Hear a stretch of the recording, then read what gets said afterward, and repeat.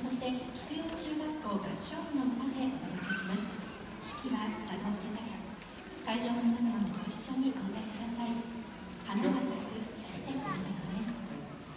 今日はあの熊本での3年た制作から3年経った日演奏会を任されていろいろ考えましたけどもとっても内容のある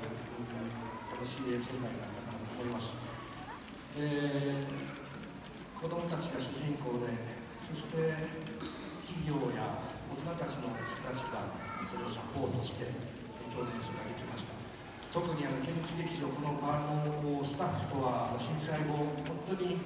え、ある種の友情のようなものが、えー、僕は感じています、えー、3年経ちましたしまだまだ、えー、仮設にいらっしゃる方もいらっしゃるのでこれからも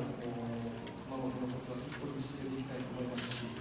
えー、そして一つのこれは僕との縁ができたと思ってます、えー、これからも長く、えー、皆さんとお付き合いたいと思ってます、え今日の演奏会は本当に最後ですけども、え花は咲くそしてふるさと、え皆さんの声と一緒に演奏会を締めくくりたいと思います。よろしくお願い